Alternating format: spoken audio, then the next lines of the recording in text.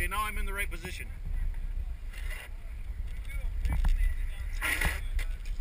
You want me down further?